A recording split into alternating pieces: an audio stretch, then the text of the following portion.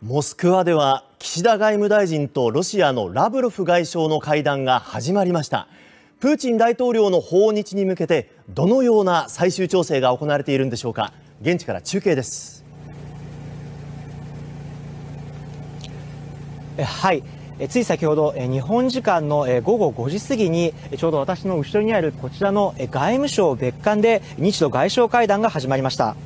会談の冒頭ではラブロフ外相が今日の交渉は大統領訪日の最終準備の段階責任を感じて作業していくと述べたことに対し岸田外務大臣がプーチン大統領の訪日の準備の最後の詰めを行う観点から重視している。二国間の問題について十分協議して山口の会談につなげたいと応じました。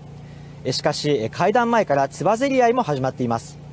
2日にはロシアのモルグロフ外務次官が外相会談では平和条約について深い話にはならないとコメントしたことに対し岸田外務大臣が当然平和条約交渉はしっかりと議論を行いたいと反論する一幕もありました。